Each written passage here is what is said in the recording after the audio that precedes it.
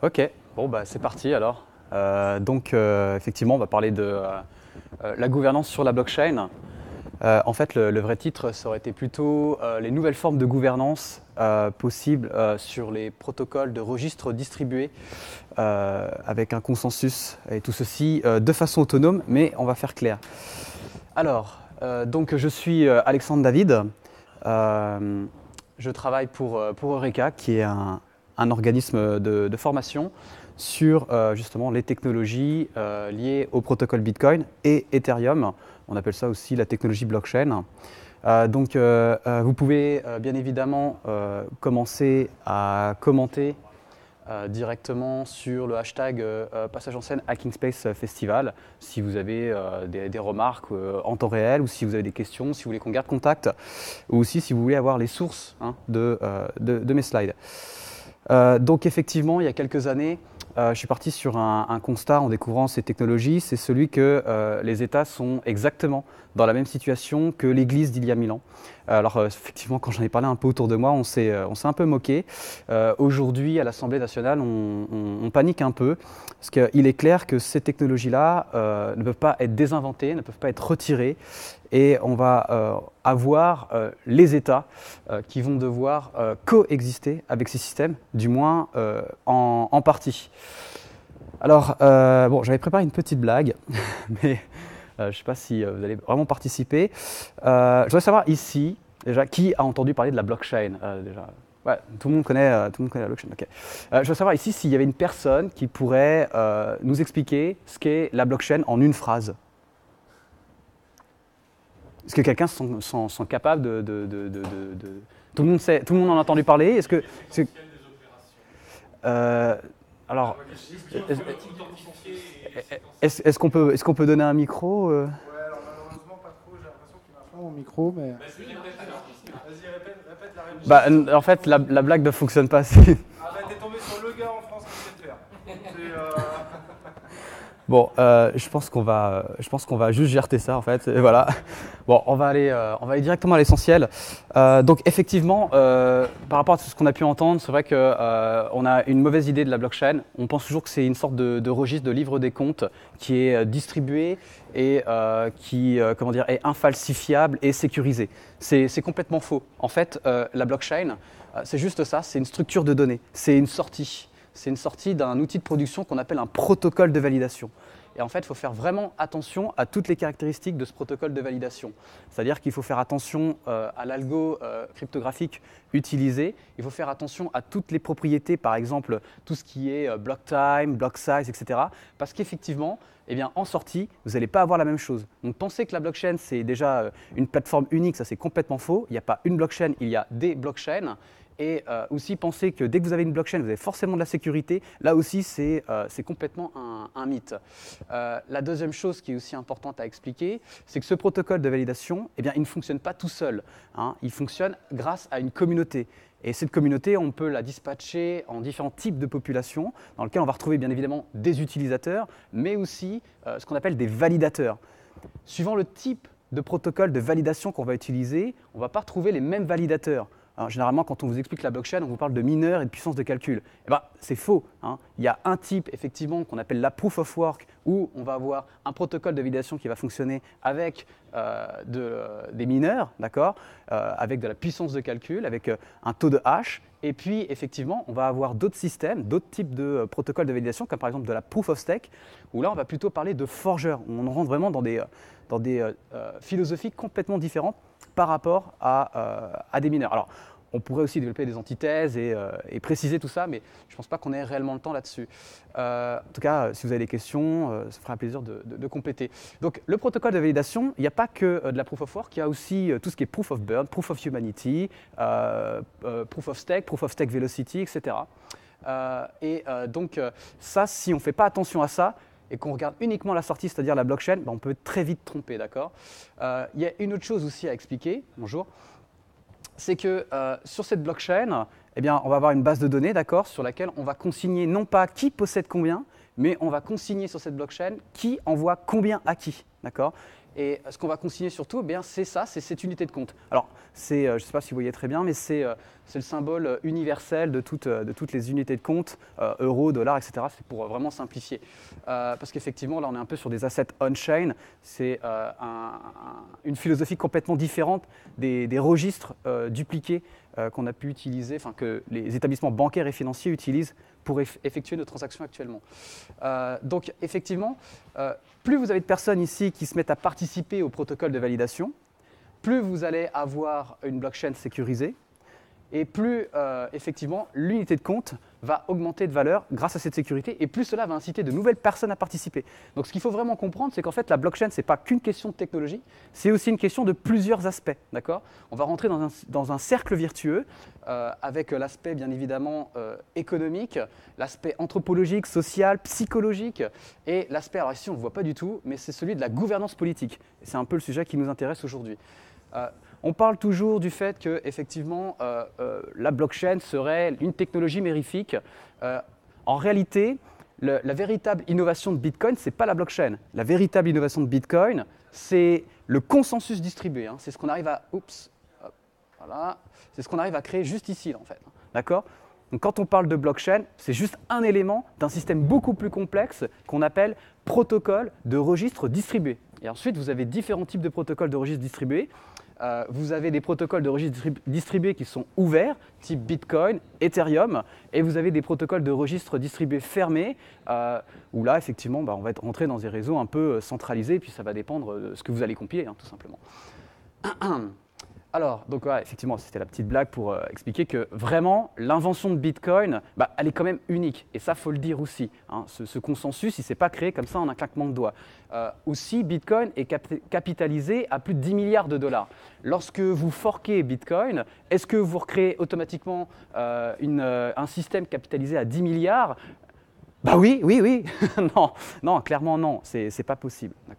Donc euh, Bitcoin s'est construit vraiment au fur et à mesure. Hein. Si on, revient un peu dans l'histoire, dans le contexte, quand WikiLeaks a voulu utiliser euh, les paiements en Bitcoin parce qu'effectivement, ils s'étaient fait euh, geler leur compte, euh, il, il, y a, Satoshi Nakamoto, le créateur du protocole, qui est revenu sur scène pour expliquer que bah non, il ne faut pas euh, jeter les projecteurs sur cette technologie, elle est en bêta, euh, elle est en cours de, construction, et il faut laisser le temps de, faut laisser le temps au protocole de se développer, tout comme c'est le cas pour Ethereum, et on va en parler tout à l'heure. Alors, on va revenir un peu sur, sur, pas mal de choses, on va essayer de, démystifier pas mal de, bêtises qui sont dites. Euh, concernant les types de population, les, acteurs qui, synchronisent euh, avec ce protocole, alors là je vous ai mis euh, les acteurs principaux, en réalité il y a beaucoup plus que ça. on entend souvent dire qu'il y a un problème de gouvernance au sein du protocole Bitcoin, c'est clairement faux, d'accord? En réalité, il y a plusieurs consensus, et ces consensus se, comment dire, se, sont obligés un peu de s'engueuler pour essayer de trouver toujours la meilleure solution. D'accord? Donc on est vraiment plus dans une, une démocratie numérique euh, que, euh, que les, démocraties soi-disant de la République française, qui est en réalité une démocratie représentative. On est dans un régime parlementaire. Là, il y a vraiment beaucoup plus de, comment dire, vous avez beaucoup plus le, de, de, paroles et, et, vous participez beaucoup plus au système que dans le système actuel. donc, on parle toujours qui est, enfin, on dit toujours qu'il y a les mineurs qui ont pouvoir sur le système. Là aussi, c'est complètement faux. En fait, les mineurs, on peut appeler validateurs quand on, si on veut rester assez euh, vaste, euh, on ne représente qu'un seul consensus. Il y a d'autres consensus. Vous, en tant qu'utilisateur, vous avez aussi votre mot à dire. Si vous n'utilisez pas la technologie, bah, il ne se passera rien. Euh, pareil pour les exchanges, tout ce qui est place de marché. Si elles n'introduisent pas les technologies sur leur nœud, pareil, elles ont leur mot à dire. Et on pourrait parler par exemple de Coinbase qui fait du permission unpermissionless, c'est-à-dire que si vous avez vos clés, je vais un peu vous expliquer ça aussi tout à l'heure, euh, sur euh, Coinbase, c'est eux qui contrôlent vos bitcoins, d'accord? Et si Coinbase cool, vos bitcoins cool, tout comme ça fait, tout, comme, euh, tout comme ça s'est passé sur, sur MTGOX, d'accord? Donc il faut vraiment rapatrier les clés pour les, pour les contrôler. D'accord? Il y a d'autres consensus, comme par exemple celui des, euh, des développeurs du Core Protocol, d'accord? Qui, eux, doivent effectivement être toujours en accord avec euh, les mineurs. S'il y a un dissensus entre ces deux consensus, bah, on n'avance pas, on discute et on, on, prend le temps de mettre à jour le protocole au fur et à mesure pour que ça convienne à tout le monde. Parce qu'effectivement, lorsque vous êtes mineur, bah, vous, cherchez quand même un retour sur investissement. Hein. ça, ça, ça, ça, coûte quelque chose. Euh, c'est aussi un réseau, hein, Bitcoin, euh, et ces protocoles de registre distribués, c'est surtout des réseaux, des réseaux en pair à pair. Alors je ne vais pas refaire un cours sur les réseaux en pair à pair. Euh, la seule chose qui est vraiment importante à dire, euh, il y a deux choses importantes à dire. la première, c'est qu'effectivement, tous les nœuds ne sont pas forcément des mineurs. Hein. il y a 5700 nœuds à peu près actuellement, donc ça se déconnecte, ça se reconnecte, hein, c'est en temps réel. mais pour miner, faut vraiment, vous avez vraiment une couche supplémentaire sur, sur votre nœud, vous allez installer un logiciel et vous allez participer au protocole de validation qu'on a pu voir un peu au début, on expliquait un peu au début. La deuxième chose aussi qui est très importante à dire, c'est que euh, chaque nœud a euh, non pas une copie de la blockchain, d'accord? C'est pas un nœud qui va faire un appel pour copier-coller une blockchain, on a une réplique de la blockchain. Et ça aussi, c'est important de le dire. C'est-à-dire qu'on va, euh, quand on met en place un nouveau nœud, on va répliquer on va reconstruire chaque bloc au fur et à mesure. On va revérifier toutes les transactions pour le protocole Bitcoin. On va vérifier euh, la première transaction du 12 juillet 2009 et ainsi de suite, et ainsi de suite, et ainsi de suite. D'accord? Euh, donc effectivement, quand on parle de blockchain, on parle toujours du, chaînage de blocs. En réalité, il y a d'autres technologies qui sont très intéressantes. C'est pour ça qu'il faut plutôt parler de protocole de registre distribué ouvert plutôt que de blockchain. D'accord?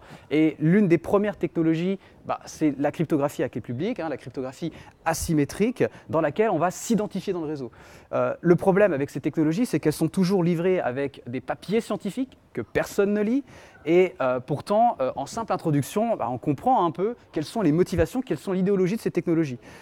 Euh, bon, là, je ne vais pas trop m'attarder là-dessus parce que c'est vrai qu'on a un peu perdu de temps. Ce qui est important à dire, c'est qu'effectivement, en utilisant ici une adresse, alors ici, on va générer une clé privée qui est une sorte de mot de passe, d'accord? On va garder ça confidentiel. On va avoir une clé publique ici, une sorte de numéro de compte. Et on génère cette clé, privée à partir d'un point généré aléatoirement sur une courbe elliptique sur corps fini. Hein, d'accord, avec euh, l'algo ECDSA, mais bon, voilà, on va pas. Euh, Ce qui est important ici à dire en fait, c'est que euh, bah, lorsqu'on vous envoie des bitcoins par exemple sur une adresse, vous gardez deux protections, d'accord, pour protéger votre clé privée. si on vous envoie des bitcoins sur votre clé publique, ce qui est possible aussi, eh bien vous perdez cette protection-là, d'accord. Donc il y a aussi certains bons usages à faire de la technologie pour se protéger, d'accord. on parle toujours du chaînage de blocs, on ne parle pas des clés. On ne parle pas non plus du chaînage des transactions. Alors ça, je suis désolé, mais on voit rien du tout. Euh, donc je vais essayer un peu d'expliquer. Bon, ce n'est pas vraiment si important que ça.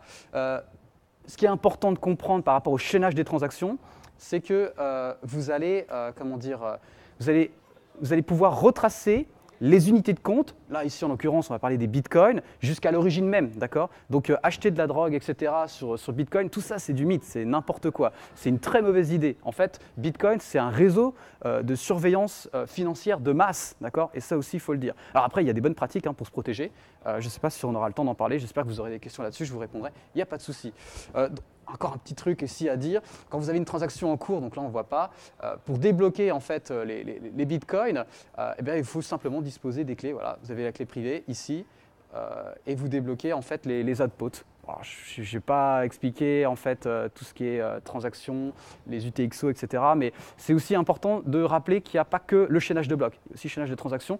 Et en réalité, les établissements bancaires et financiers s'intéressent plus au chaînage des transactions qu'au chaînage de blocs. On va voir pourquoi.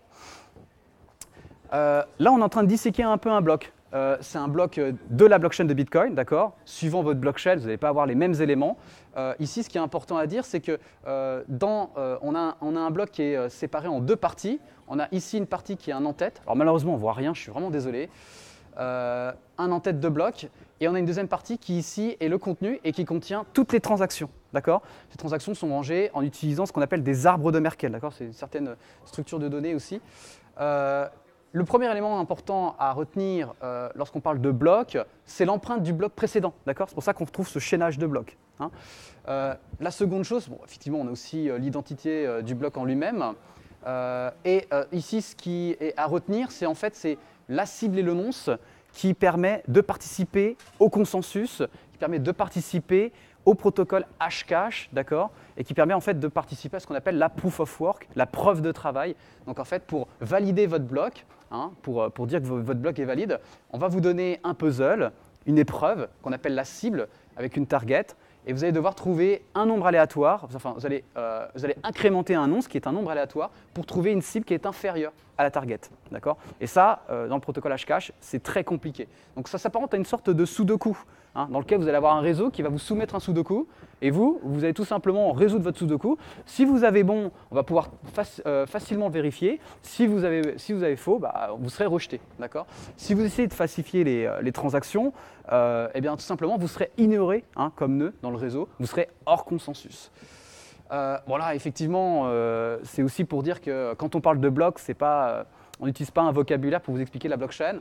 Quand on parle de bloc, c'est un terme aussi utilisé en cryptographie. Et en fait, un bloc, c'est ça, c'est simplement un hash. Voilà. Donc ici, on voit, on voit le niveau de difficulté de ce bloc. et puis tous les éléments. Mais bon, on ne va pas rester longtemps là-dessus. Donc au final, avec notre bloc, avec notre système, on arrive à créer un peu notre blockchain, d'accord? Et et euh, comment dire, euh, ce qui est important aussi à dire avec cette blockchain, c'est que euh, eh bien, si on l'utilise, ce n'est pas par hasard. Hein. Ce n'est pas une nouvelle technologie qu'on a découvert. En fait, on aurait pu construire des blockchains avec transmission de valeur depuis au moins le début des années 90 avec un, simple algorithme comme MD2 et puis des signatures cryptographiques. si on parle aujourd'hui de blockchain, c'est vraiment un mythe. Hein. Il faut surtout parler de Bitcoin et du consensus. Le consensus est vraiment unique. C'est une, invention qui est éphémère. Donc on a vraiment la chance de pouvoir euh, expérimenter ça. Expérimenter ça. Euh, la question, c'est de savoir euh, jusqu'à quand, en fait. Hein. je vous rassure, hein, le réseau n'est pas là de disparaître non plus. donc, ce qui est important, en fait, pour savoir si on a besoin d'une blockchain ou pas, c'est de se poser la question de comment fonctionne un réseau en pair à pair. Et un réseau en pair à pair, eh bien, vous avez trois caractéristiques qui sont importantes. La première caractéristique, c'est celle qui concerne la, cohérence, d'accord, c'est-à-dire l'état du réseau. La seconde caractéristique, c'est celle de la disponibilité, c'est-à-dire c'est le fait de faire une requête et de recevoir une réponse sur le réseau. Et euh, la troisième euh, caractéristique, c'est euh, ce qu'on appelle la tolérance, c'est-à-dire le fait que le réseau eh ne tombe pas en panne. Le problème, c'est que vous ne pouvez, pas avoir ces trois caractéristiques en même temps. D'accord? C'est-à-dire que vous n'allez pas pouvoir avoir le, le, même état du réseau pour tout le monde au même moment. Donc vous allez devoir utiliser et trouver un système pour vous mettre d'accord sur l'état du réseau. Et c'est là où effectivement vous faites appel à une blockchain. D'accord? Donc euh, euh, si vous faites un réseau centralisé euh, en peer-to-peer avec, avec des nœuds comme on a pu voir tout à l'heure, vous pouvez demander à chaque nœud du réseau de faire référence à un nœud central et vous pouvez faire ce qu'on appelle un protocole de registre distribué centralisé. Et dans ce cas-là, vous n'avez pas besoin de blockchain, à moins que vous soyez schizophrène. Euh, alors, ça y est, on commence un peu à rentrer dans le vif du sujet. Donc, euh, effectivement, quand on sécurise la blockchain de Bitcoin, on utilise le protocole de validation qui est de la proof of work et on rentre euh, dans ce qu'on appelle un peu l'achocratie, c'est-à-dire le pouvoir à celui qui a de la puissance de calcul. D'accord? C'est ce qui forme déjà un consensus. Vous avez euh, une façon de voter. Hein. Quand vous êtes dans un réseau en pair à pair, euh, les blocs, ce qu'il faut savoir, c'est que bah, des fois, vous avez deux blocs qui arrivent en même temps. Alors vous avez un block time sur le protocole de validation qui est utilisé sur Bitcoin qui est de 10 minutes. Ce n'est pas par hasard, c'est pour éviter ce qu'on appelle les blocs orphelins, mais ça arrive encore il y a une roadmap pour élaguer tout ça et, éviter le, plus possible de blocs orphelins, ce qui n'est pas le cas sur Ethereum. Donc effectivement, quand vous êtes un mineur et que vous avez deux blocs qui arrivent, eh ben, vous avez un choix à faire, d'accord? Quelle blockchain allez-vous construire? Votre blockchain va forker. Et in fine, il y aura toujours une blockchain qui fera consensus sur le fork, d'accord? Je vais vous expliquer ça un peu plus en détail un peu après. J'aimerais aussi passer sur une autre forme de gouvernance qu'on appelle la stécocratie, d'accord? Via euh, un protocole de validation qu'on appelle la proof of stake. Je pense ici que euh, tout le monde sait un peu de quoi on parle quand on parle de la proof of work, avec euh, cette puissance de calcul, ce taux de hash. Hein, on, peut revenir un peu rapidement ici. Euh, alors malheureusement, on voit rien du tout, donc je vais un peu décrire parce que c'est vrai que je suis un peu passé vite. Aujourd'hui, le réseau Bitcoin, il culmine à 1,8 exahash par seconde. D'accord? Et ça aussi, c'est important de le dire. Ça en fait le réseau le plus puissant jamais construit. Pour vous donner une ordre d'idée, oh là, on voit rien du tout, c'est une horreur. Google, euh, lui, euh, représente euh, moins de 1 pétahash, ce qui fait à peu près 1800 Google aujourd'hui sur Bitcoin. Alors ça vacille, hein, ça monte, ça descend, etc. C'est des gens qui se débranchent, des gens qui se rebranchent, vous avez une difficulté qui s'ajuste, mais voilà. la stécocratie, c'est une philosophie complètement différente. C'est de se dire, voilà, cette puissance de calcul, bah, pour sécuriser une blockchain, c'est un peu trop de dépenser. Donc ce qu'on va faire, c'est qu'on va simuler une règle de minage en mettant des actifs sur le côté. La proof of stake, ça signifie la preuve par la possession d'actifs, d'accord? C'est euh, plus de la preuve par euh, le travail. Donc on va plus vous demander vraiment une puissance de calcul. Il va toujours avoir une question de puissance de calcul. Si dans les questions, vous voulez me poser euh, des questions concernant les, les, possibilités, les problèmes, les failles de la proof of stake, on pourra en parler. et donc là, effectivement, sur Bitcoin, on était sur un réseau qui est computer driven, d'accord? Là, dans la proof of stake, on rentre dans un, réseau qui est social driven. C'est-à-dire que vous allez un peu déléguer euh, votre pouvoir, votre souveraineté, euh, et vous allez devoir faire confiance euh, aux possédants d'actifs. Si vous avez par exemple 10% de la masse monétaire totale contenue dans le réseau, eh bien, vous aurez 10% de chance de trouver un bloc. Toutes les, après, ça dépend du block time, là aussi, pareil.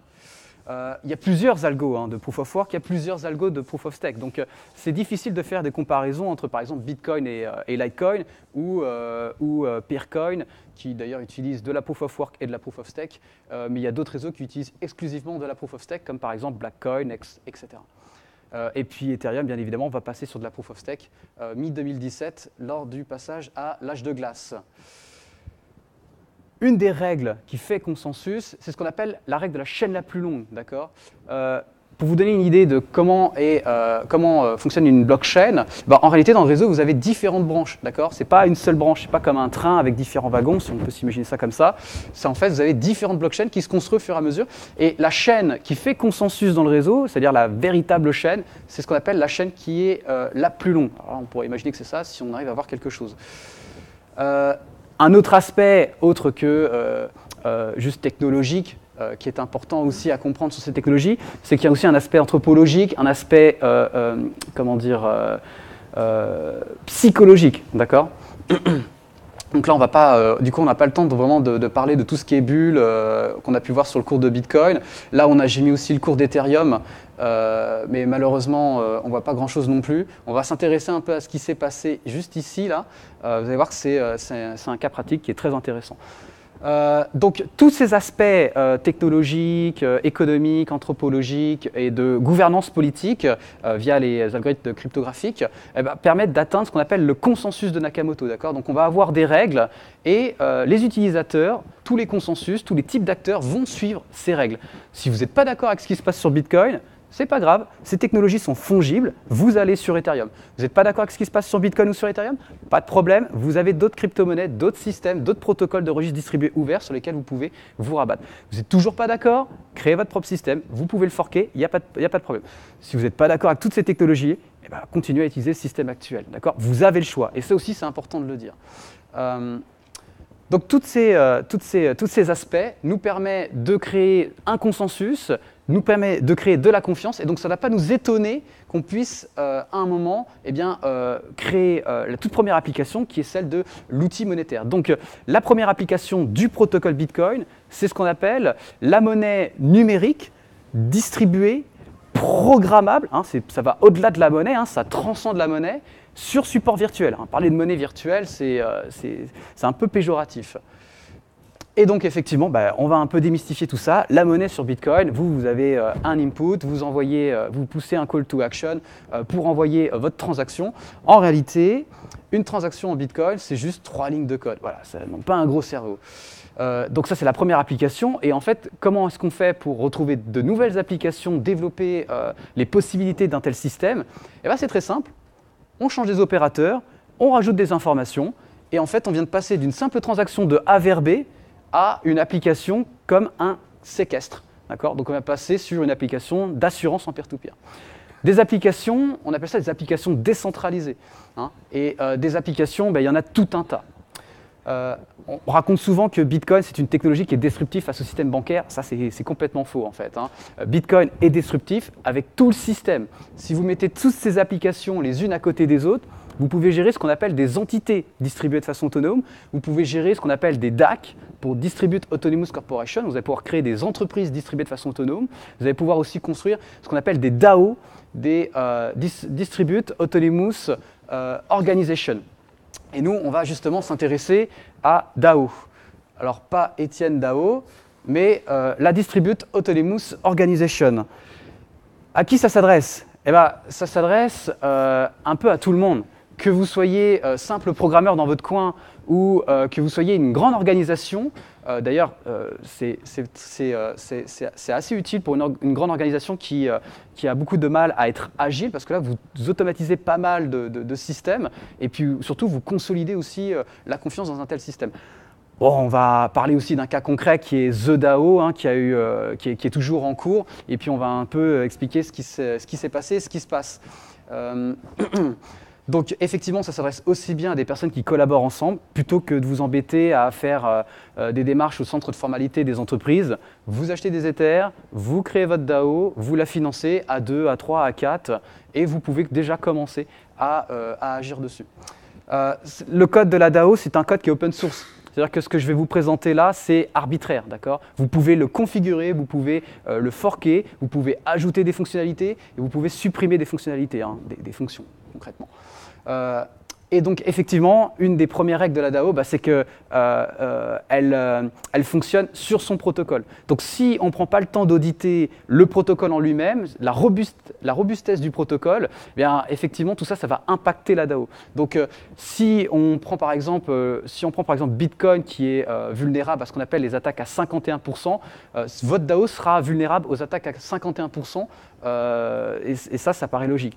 Pareil, si vous faites une DAO sur Ethereum, euh, vu que si vous êtes sur un protocole comme de la Proof of Stake qui est vulnérable au stake grinding ou euh, au nothing at stake, c'est pareil pour votre DAO, d'accord Donc ça, c'est important. Bon, je vous rassure, en fait, ça va simplement ébranler la confiance. Hein, ça va faire comme l'euro. Quand vous avez une crise financière, tout le monde dit « oh là là », et puis après, euh, personne ne change ses habitudes. donc, bah, la première chose sur la, la DAO, on va parler de sa phase de création. Euh, parce qu'effectivement, il faut bien commencer par quelque part. Donc, on va faire une sorte de crowdfunding, une sorte d'IPO, d'accord, dans lequel on va, euh, euh, c'est ce que je vous disais tout à l'heure, il y a, une couche sociale aussi. Donc, vous allez faire une annonce sur les réseaux sociaux, sur les forums. Alors, vous avez plus de chance si vous êtes un influent sur les réseaux sociaux, et puis vous allez décrire votre projet, d'accord Vous allez chercher des financements. Donc là, on va prendre un exemple concret où effectivement, on va avoir une DAO qui est sur, qui Ethereum. Mais ce qui est aussi important de dire, c'est que bah, la première DAO, c'est Bitcoin, d'accord? On l'a vu avec cette espèce de, protocole. Hein, un protocole, c'est un ensemble de règles. Et euh, effectivement, euh, bah, euh, Bitcoin, c'est une sorte de première constitution numérique. Donc on va avoir des investisseurs qui vont être intéressés par la DAO, qui vont envoyer des fonds, qui vont financer la DAO.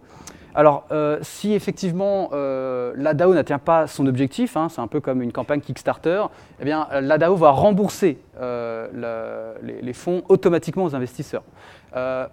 concernant, alors j'ai un peu simplifié, mais c'est pas grave. D'ailleurs, de toute façon, on voit rien, donc je vais réexpliquer. concernant cette phase de création, vous avez différentes étapes, d'accord, pour récompenser les personnes qui ont pris des risques préalablement.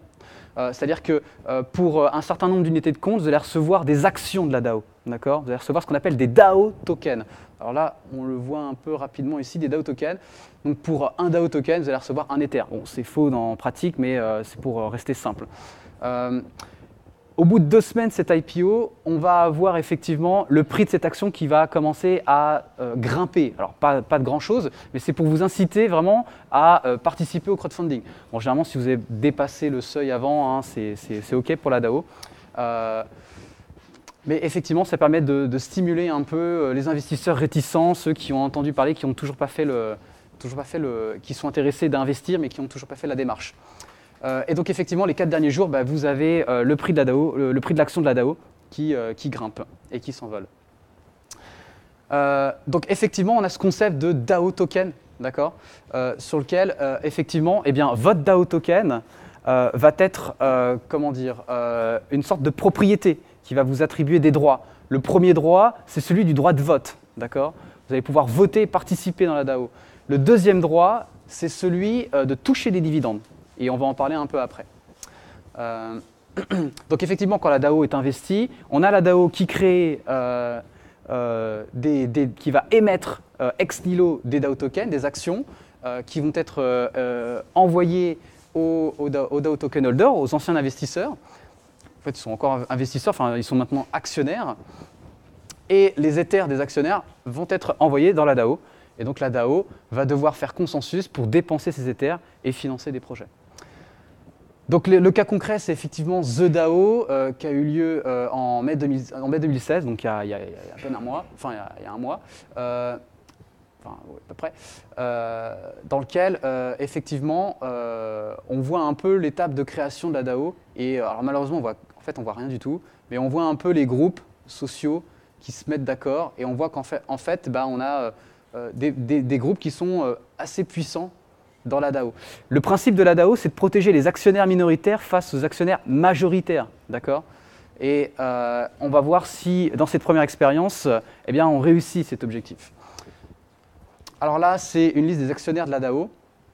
Et on voit un peu aussi euh, eh qu'on a euh, une majorité d'actionnaires minoritaires et une majorité d'actionnaires enfin une, minorité d'actionnaires majoritaires et une majorité d'actionnaires minoritaires. D'accord Alors c'est assez compliqué en réalité de faire la corrélation entre euh, les adresses parce qu'il peut y avoir plusieurs personnes qui contrôlent plusieurs adresses. Donc euh, c'est que des suspicions. Il faudrait, il faudrait avoir plus de temps pour enquêter là-dessus. Alors, dans votre DAO, vous avez un premier acteur qui est l'investisseur, qui est ce qu'on appelle le DAO token, euh, le DAO token holder, et on a un second acteur qui est ce qu'on appelle le contractor. En fait, n'importe quel euh, actionnaire de la DAO peut être contractor et peut soumettre un proposal à la DAO. D'accord? Le système de proposal, c'est quelque chose qui a été inventé par Amir Taki et qui a été introduit sur Bitcoin. Hein. Bitcoin s'améliore aussi. Il y a ce qu'on appelle les BIP, hein, les Bitcoin Improvement Proposal. On a la même chose sur Ethereum avec les Ethereum euh, Improvement Proposal. Et là, sur la DAO, effectivement, on a ce même concept de proposal. Donc, on va avoir un contracteur qui va soumettre un proposal à la DAO, la DAO qui va sûrement accepter euh, de financer le proposal ou pas. Euh, vous allez voter, c'est vous qui choisissez, vous êtes actionnaire. Et ensuite, le contracteur va s'engager à, créer soit des produits des services que la DAO va pouvoir utiliser ou vendre pour faire du bénéfice. D'accord? Donc là, dans le cadre de The DAO, hein, qui est différent hein, de les DAO, il y a des DAO et il y a The DAO. C'est un peu comme si, euh, euh, je sais pas, un constructeur automobile s'était appelé The Automobile. Hein, d'accord? Voilà, c'est un peu trompeur. donc effectivement, on va, avoir, on va avoir tout ce mécanisme qui est assez intéressant. Pour soumettre un proposal, c'est très simple. Euh, ça vous coûte euh, arbitrairement, ça dépend euh, d'après de ce que vous mettez dans le code, deux éthers, d'accord Et on va vous mettre deux éthers en fait en séquestre. Si vous faites un proposal sérieux, eh bien effectivement, ça veut dire qu'il y a un business model derrière, ça intéresse les gens et il sera financé. on va soumettre votre proposal au vote à tout le reste des actionnaires. Et euh, si effectivement votre, votre proposal est euh, financé, on va vous rembourser. Hein, d'accord Sinon, si vous faites euh, du spam ou si vous faites le troll, eh bien, on va vous encaisser. D'accord vous pouvez faire aussi, par exemple, aussi un proposal pour augmenter le coût des proposals. C'est, un, peu, un peu vaste, les, les, proposals. Hein. Ça, va de la recherche à la sécurité, à, la création de services, mais ça va, ça va vers tout. Hein. On, va voir ça, on va, peut-être un peu rigoler. Au niveau des proposals, on a deux types euh, principaux de proposals. On a les proposals un peu standards euh, qui durent 20 euh, jours, c'est-à-dire qu'on va soumettre votre proposal au vote pendant 20 jours. Le dépôt minimum, c'est deux éthers, mais on l'a vu, c'est arbitraire. Et, aussi, eh bien, votre proposal va être soumis au vote. Et pour, que votre proposal puisse passer, il va falloir que vous atteigniez un certain quorum. D'accord? Euh, Donc, si vous êtes plusieurs, le quorum sera de 20%. Si vous êtes deux dans la DAO, il y aura toujours un actionnaire majoritaire et votre quorum sera à 53,33%. Euh, le split proposal, c'est une façon de euh, se séparer de la DAO. Si vous n'êtes pas d'accord avec le, consensus qui se passe dans la DAO, vous pouvez, vous pouvez sortir de la DAO, d'accord? Alors, la meilleure façon de sortir de la DAO, la façon la plus simple, c'est de passer par une place de marché et de revendre vos DAO tokens, vos actions, contre des Ethers, par exemple. D'accord? C'est la façon la plus rapide sortir, pour sortir. Mais vous avez aussi d'autres solutions, qui est ce qu'on appelle le split, où là, effectivement, euh, le, temps euh, du vote est, euh, abaissé. Il est de 7 jours. Pourquoi? Bah, Effectivement, si vous voyez qu'un proposal va passer, que vous n'êtes pas d'accord, eh bien, vous avez toujours la possibilité d'anticiper et de vous séparer de la DAO assez tôt. Bon, on verra un peu comment ça se passe. D'ailleurs, c'est ce qui va nous intéresser. Et là aussi, pareil, il n'y a aucun dépôt. Un petit mot sur le speed proposal, et ça, c'est là, c'est assez marrant en fait. Euh, c'est que euh, vous avez votre DAO, d'accord, sur laquelle vous allez chercher à splitter. Donc, vous allez créer ce qu'on appelle une child DAO. Donc, vous allez un peu comme une cellule vous diviser. Et il y a une des règles en fait sur, sur la DAO pour l'instant, c'est que bien, quand vous êtes créateur de la DAO, il y a 7 jours de proposal et il y a après encore deux nouvelles fois, une nouvelle fois 27 jours d'incubation. Et en réalité, vous ne pouvez pas empêcher d'autres actionnaires de la DAO de rejoindre votre split DAO, de rejoindre votre child DAO, d'accord? Ce qui veut dire que si vous avez un actionnaire majoritaire qui veut vous rejoindre pour vous attaquer, il peut vous rejoindre. Alors après, vous avez encore vous aussi la possibilité de resplitter de votre split, d'accord? Vous avez créé une child child DAO de la child DAO de la DAO, d'accord? Et cet actionnaire peut aussi vous suivre là-dedans. Et en fait, bah, c'est ainsi de suite, euh, ça, se fait en boucle. Et ça, c'est ce qu'on appelle des, euh, des stalk attacks. Les proposals, bah, effectivement, il y en a plein. Sur la DAO, euh, en moins de 24 heures après le, crowdfunding, euh, on a eu euh, une dizaine de proposals, dont 7 dixièmes représentaient des split proposals. D'accord? En une semaine, on a eu à peu près une cinquantaine de proposals. et alors là, malheureusement, on voit rien et on aurait pu peut-être un peu rigoler, mais c'est pas grave. c'est qu'il y a eu à peu près une quarantaine aussi de split proposals sur 50 proposals effectués. Donc, euh, donc voilà. Euh, des petites, euh, métriques intéressantes à partager. il y a plus de 99% d'abstention dans la DAO, d'accord? C'est aussi, c'est important de le dire. et là, voilà, il y a une petite blague, Do you believe in God Voilà, voilà ça, c'est fun en fait, là, la DAO, hein, avant tout. Alors, le contenu d'un proposal, bon, bah, effectivement, vous allez avoir un business model, vous allez avoir une liste de produits, puis vous allez prendre effectivement certaines responsabilités. Si vous êtes une grande entreprise, je ne sais pas, euh, par exemple, euh, euh, une grande entreprise dans l'industrie des, registres distribués, vous allez avoir beaucoup plus d'influence que le simple PECOS. Hein. Si vous n'avez pas d'amis, bah, vous n'allez pas avoir vraiment d'influence sur, les, différentes propositions pour participer à la DAO, ben en fait, pas besoin de passer par votre terminal. Hein, vous allez directement sur des interfaces utilisateurs avec un bouton, alors là on voit rien du tout, oui, non, voilà, pour voter votre proposal. À savoir que, euh, par exemple, vous pouvez aussi voter à la fois oui et non si vous êtes indécis, d'accord? Bon après, euh, il y en a qui participent pas, c'est beaucoup plus simple. Alors là, c'est aussi intéressant. Donc on a vu qu'effectivement, on a des DAO tokens qui sont des actions. Dès la première phase de création, après cette phase de création, vos DAO tokens sont adossés à des Ethers. Mais dès que la DAO commence à financer un proposal, dès, le, déclenchement du financement du premier proposal, eh bien on a un mécanisme qui se met en place, c'est-à-dire qu'on va échanger vos Ethers, on va dépenser vos Ethers, et à la place, on va vous euh, donner ce qu'on appelle des rewards tokens, d'accord? C'est-à-dire qu'en fait, on va adosser la réussite du proposal à vos actions.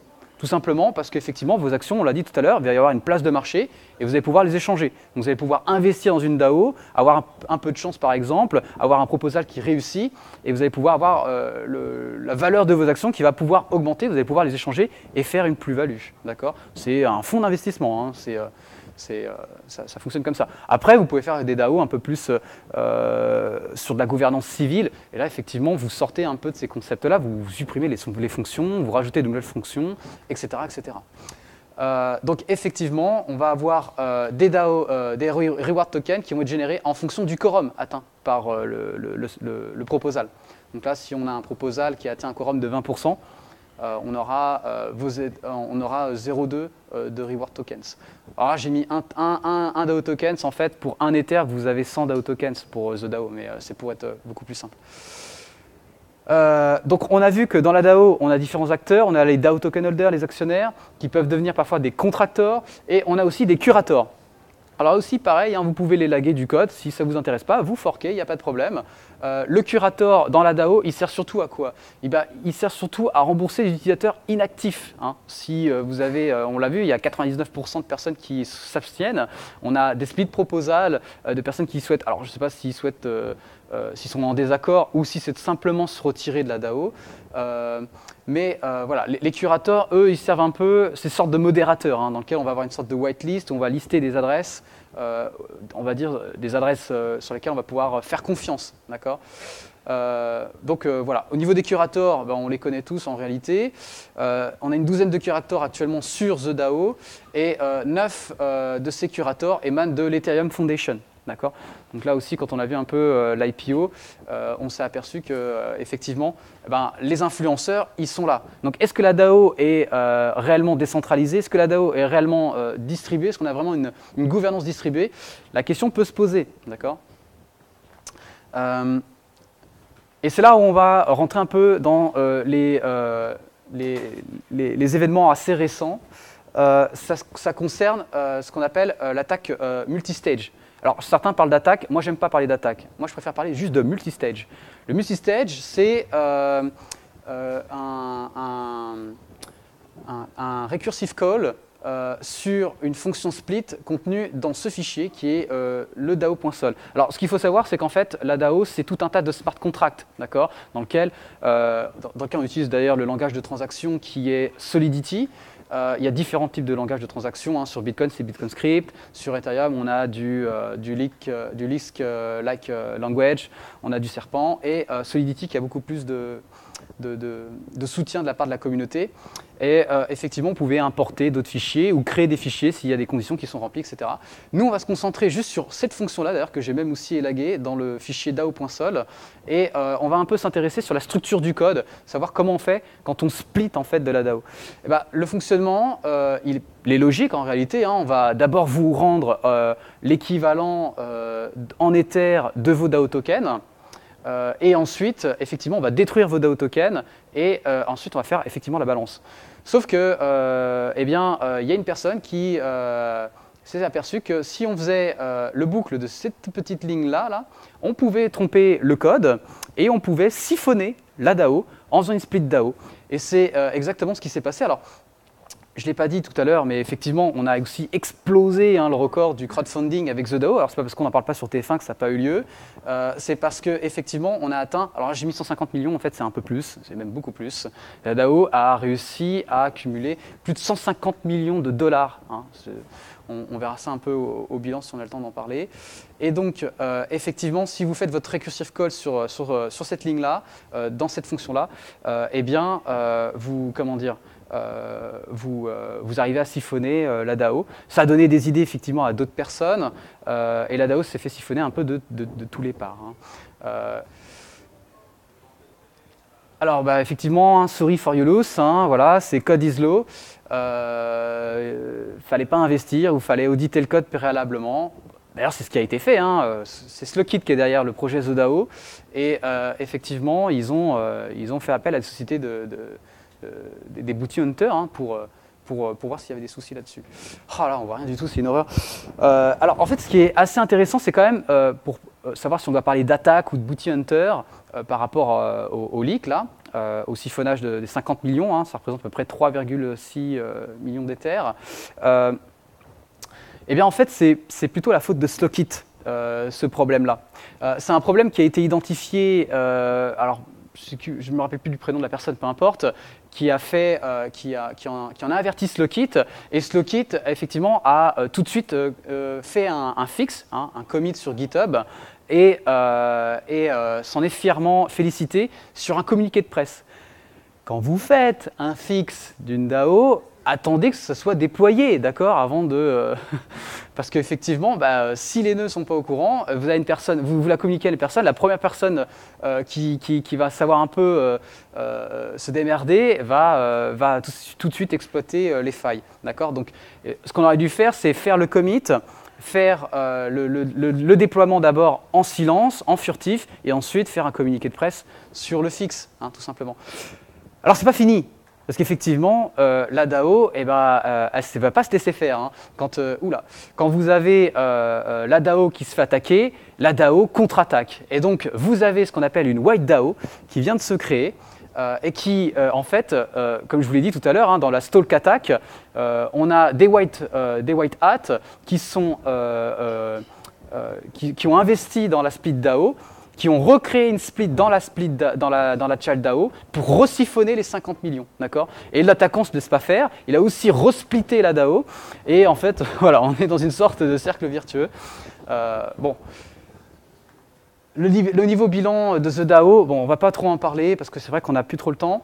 Euh, par contre, je vous mettrai mes slides ainsi que les sources sur mon Twitter. Donc, si vous voulez me suivre, hein, c'est juste là, voilà, Daboloscoff.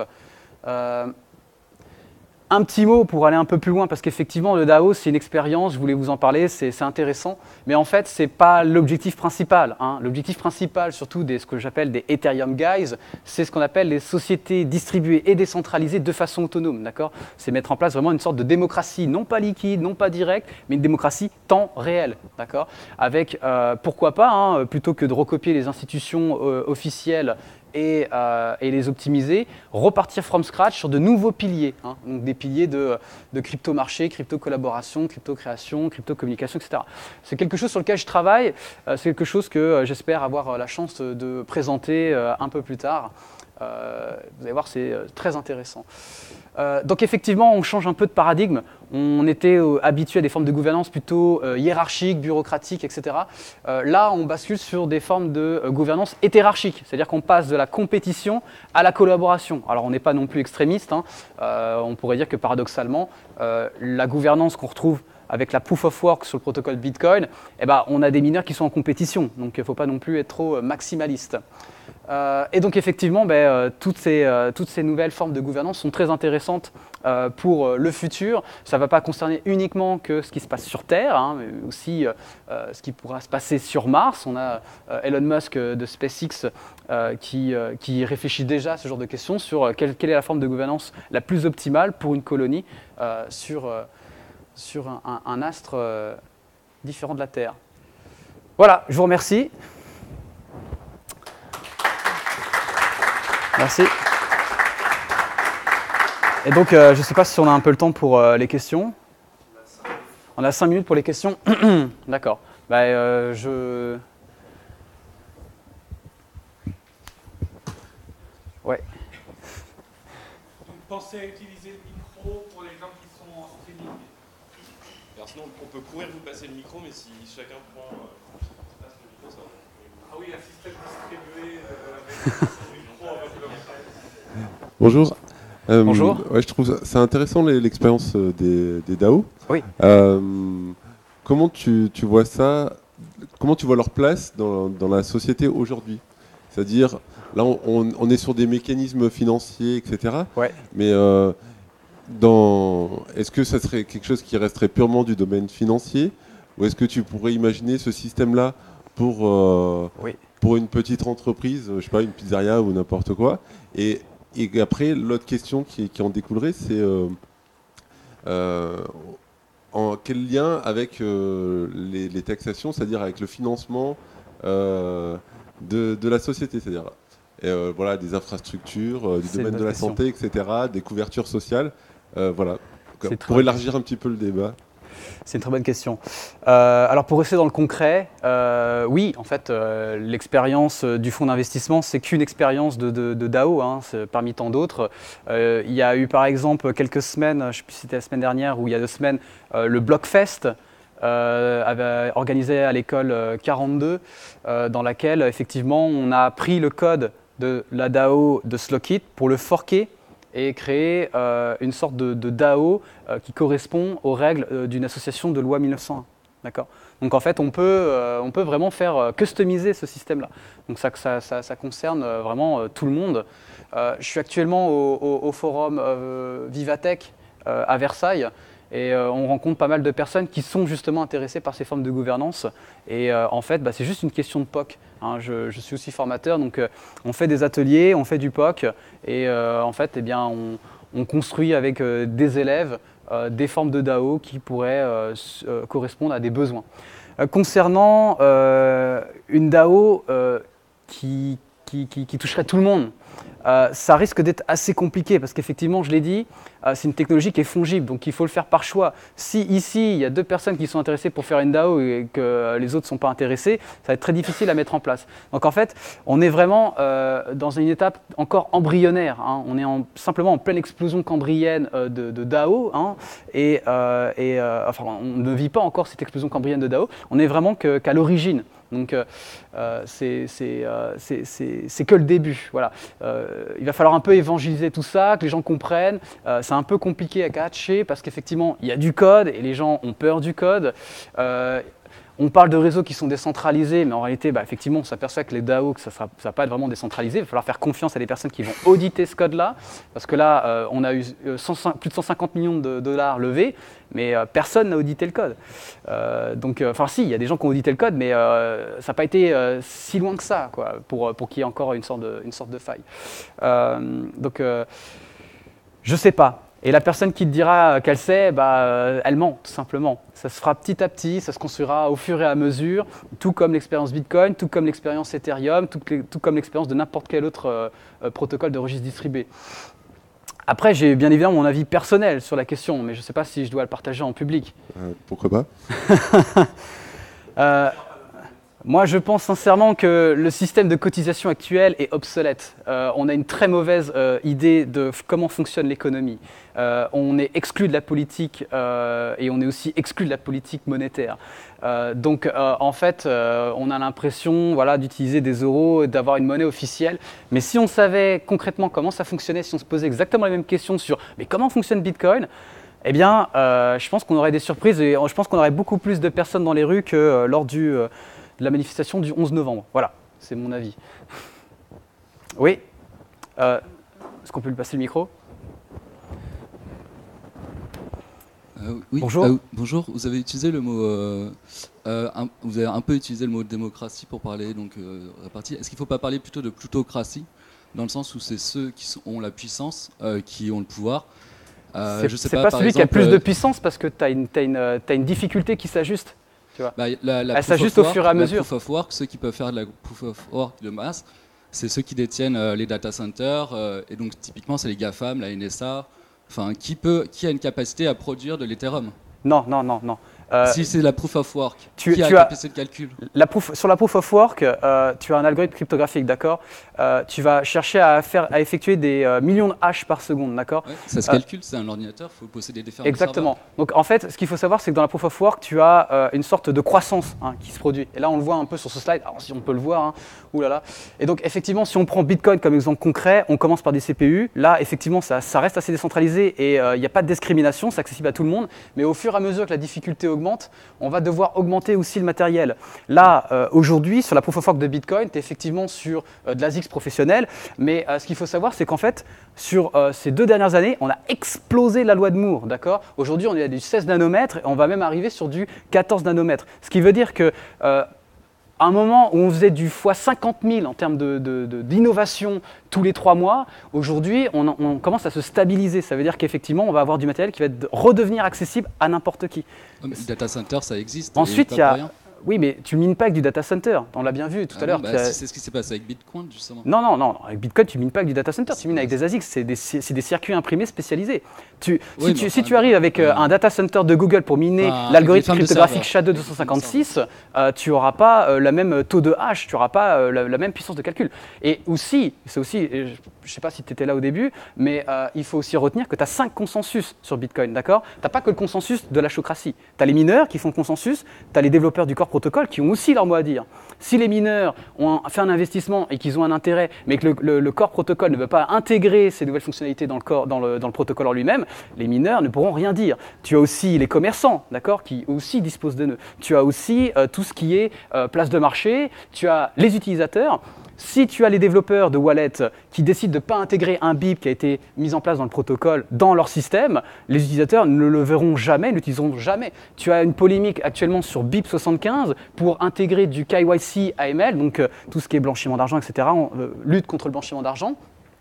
Pour l'instant, ça ne fait pas consensus, d'accord? Donc ce ne sera pas intégré. Tu as plusieurs personnes qui ont leurs choses à dire. Il faut participer. Voilà. Il ne faut pas juste simplement être spectateur. Il faut aussi participer euh, sur les forums, sur les réseaux sociaux, donner, sa, donner son, son avis. Il ne faut, pas, euh, faut pas se laisser faire. D'accord? Euh, donc, Ça prend du temps et de l'énergie. Ça prend du temps et de l'énergie, mais c'est comme tout. Hein. On a chacun nos centres d'intérêt. Et, oui, on a chacun nos centres d'intérêt. Mais là, on ne parle pas du, de l'iPhone 7. Là. On parle de, quand même de, de gouvernance, de confiance et d'argent. D'accord? Donc je pense qu'on passe tous du temps à faire nos impôts. Euh, si on pouvait faire autre chose, on le ferait tous. C'est parce que c'est important. Voilà. Là aussi, pareil, c'est important. Il faut passer du temps là-dessus. Oui Et puis après, on va devoir arrêter parce que... Mais on pourra reparler un peu après si tu veux. Euh, c'est intéressant. C'est vrai qu'il y a tellement d'antithèses à développer que. Une remarque et une petite question. La remarque, c'est que j'avais lu le texte de Borsmeyer sur l'attaque de DAO. Oui. Et si j'ai bien compris, il y a eu tout un débat en fait au sein de la communauté sur est-ce que super super question. Est-ce qu'il faudra un, est-ce qu'il faut finalement un État ou est-ce, qu'il faut l'intervention de l'État ou est-ce que ça peut réellement se gouverner tout seul? Et je veux juste signaler que Bernard Stiegler, dont on a quand même un peu parlé hier, euh, parle de, de, la, nécessaire émergence d'une force publique. Mais justement, c'est, c'est un concept qui est beaucoup plus intelligent que celui d'un retour de l'État. quoi. Et par, contre, est-ce que, cette force, est-ce que cette force publique pourra exister via la blockchain? J'avoue que je connais absolument pas assez bien le sujet pour, euh, pour le dire, pour dire si c'est envisageable ou pas. C'est posé une super question et c'est vrai que j'ai un peu survolé ça. Ça, c'est ma remarque. Donc euh, maintenant, ma petite question, c'est juste euh, les gens qui ont fait The DAO, qui, ont, fait, qui, ont, fait, le DAO en général, ils jouent à Nomix, non? Qui ont fait The DAO qui ont fait le DAO, le premier concept de DAO et peut-être The DAO aussi. Ils, jouent à Nomix, non? Nomix, je connais pas. c'est un, jeu, un jeu où tu inventes les règles au fur, au fur et à mesure. Euh, non, je ne connais pas du tout. Je ne peux pas répondre à cette question-là. Mais par contre, je peux rebondir vite fait sur, euh, la remarque. C'est vrai qu'on euh, a survolé un peu tout ça. tout à l'heure, on a parlé de système computer-driven et de système social-driven sur les protocoles de registre distribués ouverts tels que e-, Ethereum, Bitcoin, etc. Généralement, on est dans du code ISLO, c'est-à-dire qu'on suit les règles du protocole, même si, et ça c'est normal, hein, c'est du code, même si parfois bah, ce n'est pas moral.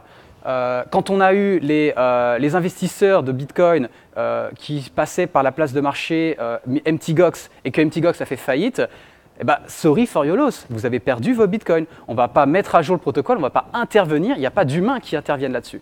Le problème avec Ethereum et The DAO, c'est qu'effectivement, eh bien, On parlait de soft fork, mais ça maintenant c'est abandonné parce qu'ils ont fait ça un peu trop rapidement et on a découvert une faille. Donc euh, maintenant on parle plutôt de hard fork. Alors savoir comment est-ce que ça va être intégré, ça on n'a a aucune idée. Euh, c'est encore en cours de, discussion. En fait, ce qu'on va avoir, c'est qu'on va avoir un, une annulation du contrat, du smart contract de la DAO. Euh, après, savoir comment ça va être mis en place concrètement, ça je ne sais pas. D'ailleurs, les, les, développeurs non plus ne le savent pas. quand on a un protocole comme Ethereum qui vous explique que les contrats horodatés sur leur blockchain, euh, enfin même sur la blockchain de tout le monde, parce qu'elle appartient à tout le monde, hein, les, les, distribués, euh, sont immutables, et que d'un côté vous avez l'Ethereum Foundation qui, au lieu de se consacrer sur euh, tout ce qui est éducation, développement du protocole, mais intervient sur le, consensus, sur, le, sur les smart contracts. Alors, ils atteignent quand même un certain consensus, mais est-ce que c'est pas parce qu'il n'y a pas trop d'influence ou trop de manipulation euh, Est-ce que c'est pas aussi la même question qu'on se poser sur Bitcoin euh, bah, Du coup, on, est dans une, dans une, situation où on a un humain, des humains qui vont intervenir sur un, un smart contract qui est censé être immutable, qui est censé être infalsifiable, qui est censé être inchangeable. Et ça, c'est un véritable problème. C'est un véritable schisme qui se crée dans la communauté. Est-ce qu'on a le droit d'intervenir parfois pour des questions morales ou est-ce qu'on laisse le code s'exécuter tel qu'il a été écrit? Voilà. Merci. Merci, mais on doit arrêter.